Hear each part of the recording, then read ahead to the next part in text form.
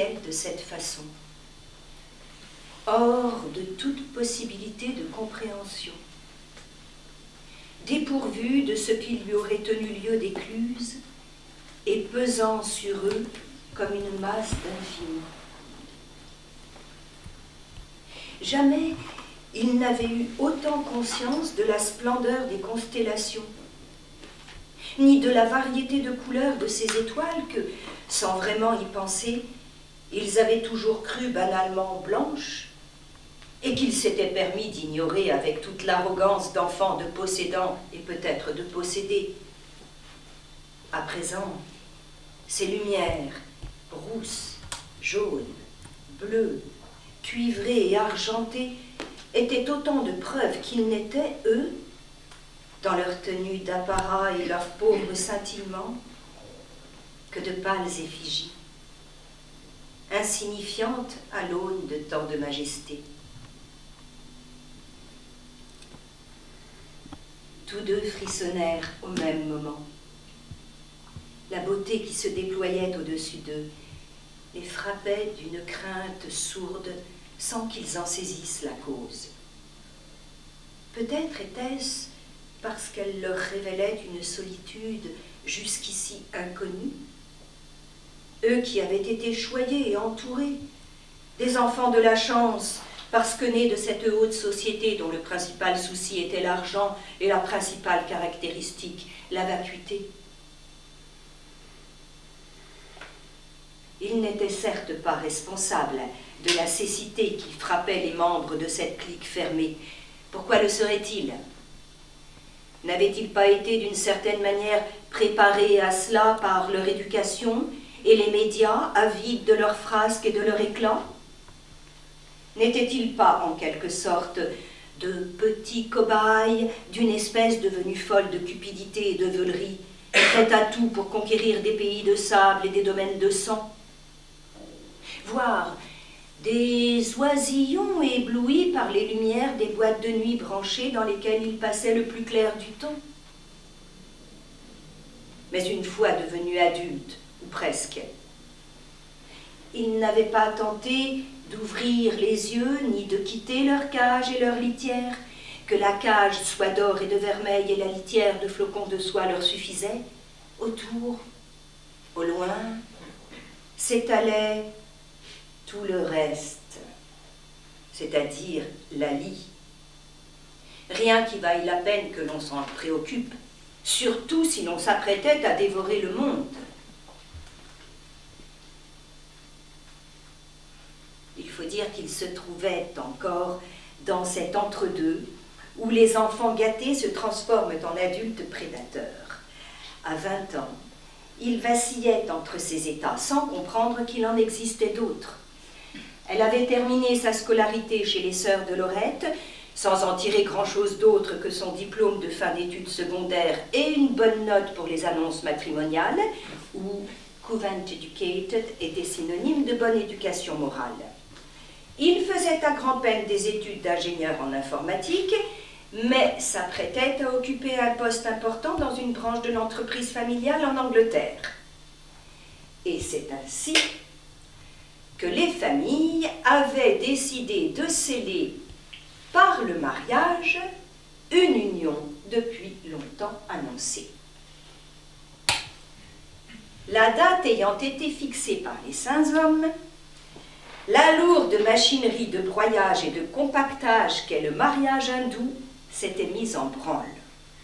Au bout, la fusion des familles, comme de deux multinationales, serait complète.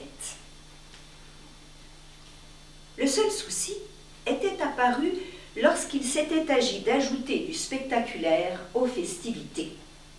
Bien sûr, la mariée serait couverte de bijoux aussi coûteux qu'extravagants. Et sa tenue serait choisie avec le même soin, peut-être brodée de perles et de pierres précieuses ou semi-précieuses, les cristaux de Swarovski étaient de dernier chic. L'hôtel le plus luxueux de la ville serait réservé pour trois jours, et des chambres offertes aux invités. Le dîner se tiendrait dans les vastes jardins du palace, et la décoration comprendrait d'immenses bouquets de tulipes importés à grands frais de Hollande, des angelots de marbre rose tenant une guirlande de cœur au-dessus de l'allée menant à la marquise, et des cygnes en sucre glace, aux plumes rehaussées par des lettres clignotantes placées au milieu de chaque table. Mais, en ce mois d'avril propice au mariage, les familles avaient déjà été invitées à trois fêtes dans des hôtels de luxe. Et ils savaient qu'il n'y avait rien de tel que la répétition pour provoquer l'ennui, voire le mépris. L'année précédente, ils avaient eux-mêmes ri lorsque, pour la troisième semaine consécutive, les invités avaient été transportés jusqu'au palace à dos d'éléphant. Présence d'une star de cinéma avait pendant quelques années impressionné, mais tous étaient désormais au courant qu'il suffisait du cachet approprié pour s'assurer la participation d'un tel invité, et que le plus souvent, celui-ci ne faisait qu'une apparition brève, le temps que la famille puisse se faire prendre en photo avec lui et conserver son visage au sourire là dans l'album. Ceux qui ne pouvaient se permettre le cachet des plus grandes stars avaient recours à celles de moindre importance, mais ils s'étaient vite rendu compte que cela ne leur conférait aucun prestige. La mode des stars commença donc à s'estomper. Les deux familles s'étaient réunies à plusieurs reprises pour discuter d'un coup d'éclat qui rendrait ce mariage inoubliable.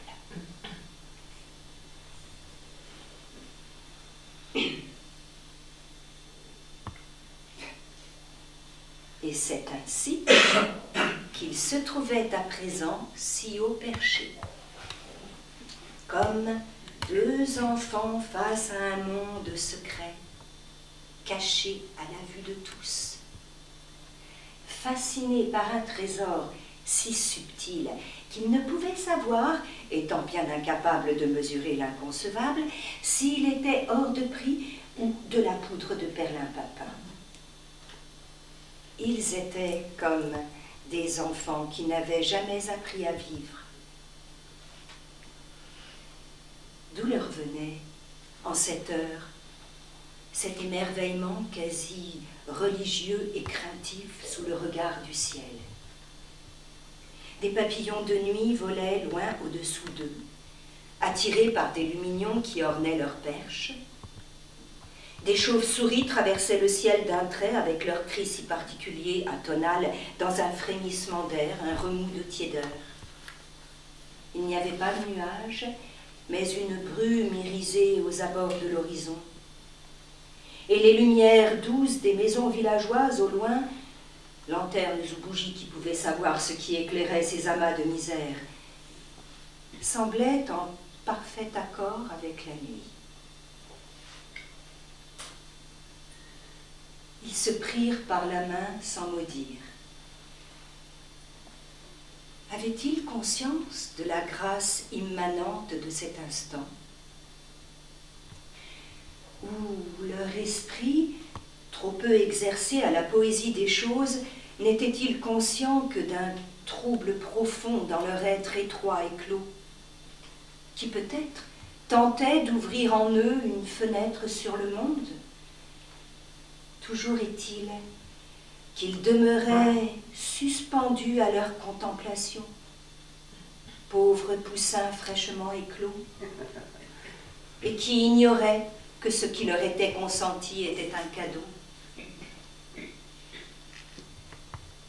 Le jeune homme pensa qu'il devrait lui dire quelque chose, puisqu'ils étaient sur le point de célébrer la cérémonie la plus importante de leur vie. Il ouvrit la bouche, mais rien ne sortit. Tout ce que son esprit lui suggérait lui semblait trop banal pour l'instant, et il eut l'intelligence inhabituelle de rester quoi. D'ailleurs, L'excès de vêtements, de bijoux et de maquillage sous lequel sa petite fiancée était ensevelie lui faisait l'effet d'un masque ou d'un costume de scène derrière lequel il lui était impossible de voir son visage ni de percevoir sa personnalité. Elle aussi le regarda, se demandant s'il allait profiter de cette solitude pour l'embrasser. Elle dut convenir qu'il était vraiment très quelconque avec déjà une tendance à l'embonpoint, et deux creux dans la ligne de ses cheveux qui indiquaient une calvitie probable dans une poignée d'années.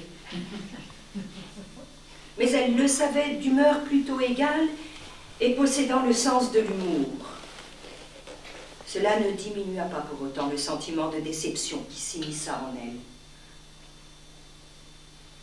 Ils continuèrent donc à scruter le ciel.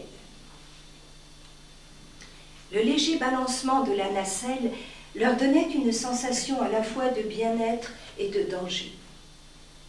Fort heureusement, il n'y avait guère de vent, et surtout pas de pluie, sinon ils s'en rendaient compte à présent. Leur descente vers les jardins du palace dans la nacelle d'une grue de construction, fût-elle joliment décorée de lumières et de fleurs, serait des plus inconfortables.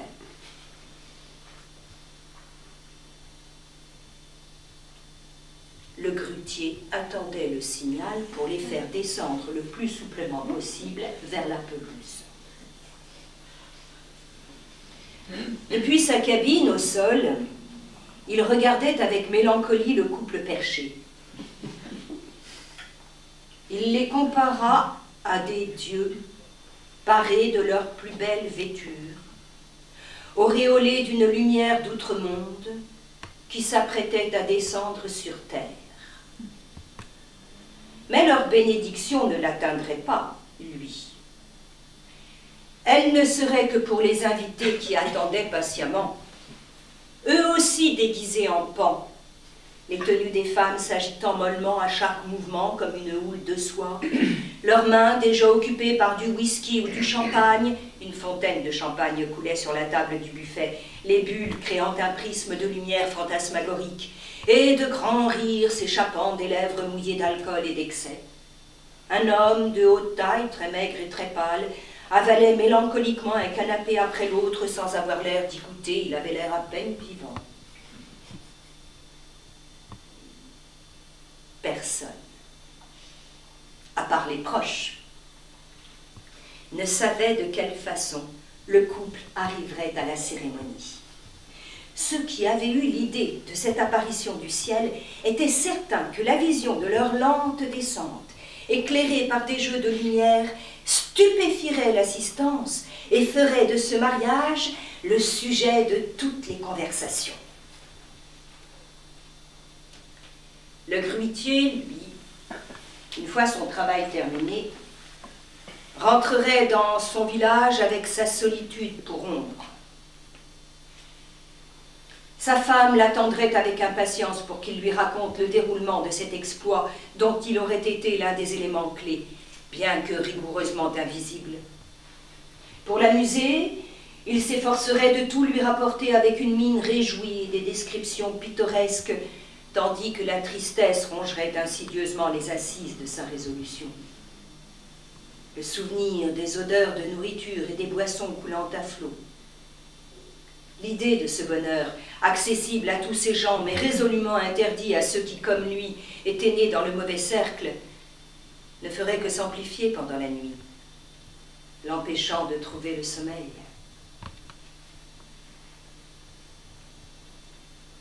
Et si ces deux magnifiques créatures là-haut décidaient pour une fois de me bénir se demanda-t-il. Si elles se dirigeaient vers moi, une fois descendues, pour me récompenser de mon adresse et de, mon habileté, si elles nous couvraient de cadeaux, moi, ma femme et mes enfants, si je rentrais chez moi aujourd'hui, les bras chargés et le cœur débordant. Le rêve, venant se heurter à un esprit trop aguerri par le sens des réalités, ne fit pas long feu. Le rêve se désintégra sans difficulté comme les pétales des reines de la nuit qui vinrent se déposer autour de la grue transporté par la brise qui s'était levée. Le regard qu'il dirigea vers le couple s'assombrit. Ils ne ressemblèrent plus à des dieux, mais aux riches gamins qu'ils étaient, choyés, molles, indifférents. Il ne regarda pas le ciel que le couple continuait de contempler, puisque son champ de vision à lui, ici-bas, était trop étroit. Il se mit à élaborer la narration qu'il allait en faire à sa femme, avalant une salive d'amertume et collant un sourire forcé sur ses lèvres. Qu'ils étaient beaux ainsi, descendant du ciel, le voile de la mariée flottant dans les airs, traversé par la lumière, ses bijoux scintillant sous la lune et les étoiles, et lui, il était comme un prince des contes, et il souriait, et il me souriait en atterrissant, parce que je les avais déposés si doucement dans l'herbe qu'ils n'avaient rien senti. C'était comme s'ils avaient été transportés par un nuage et les invités ont applaudi et ils se sont exclamés d'admiration. La fanfare a retenti et le couple s'est dirigé vers le lieu de la cérémonie comme des enfants heureux. Voilà comment ils sont les riches, avec leurs jeux et leurs joies. Mais il faut dire que c'était une bien belle vision. Et elle lui dirait en un souffle, Ah oui, je les vois les yeux brillants de rêves usurpés. Tout en haut, le jeune homme tendit la main vers une constellation particulièrement brillante. C'était la constellation des Gémeaux, mais il ne le savait pas puisqu'il ignorait tout de l'agencement des étoiles. Elle suivit son regard, elle suivit son doigt tendu. Elle n'avait pas envie de parler. Qu'y avait-il à dire après tout? Mais elle se sentit plus proche de lui parce qu'il avait compris la magie de ces instants suspendus. Et elle pensa, avec un peu d'effroi, que peut-être cette magie ne reviendrait jamais. Une fois qu'il serait de nouveau plongé dans le maelstrom du quotidien, tant de choses à faire, les invitations qui s'empilaient déjà à la maison, les cadeaux à déballer, les remerciements à envoyer, et puis l'installation dans leur nouvel appartement, et puis leur lune de miel, et puis... et puis... Des enfants, se dit-elle. Il y aurait des enfants. Et elle leur montrerait, depuis le balcon, toutes les constellations dont elle apprendrait les noms, et elle leur dirait, le soir de notre mariage, votre père et moi,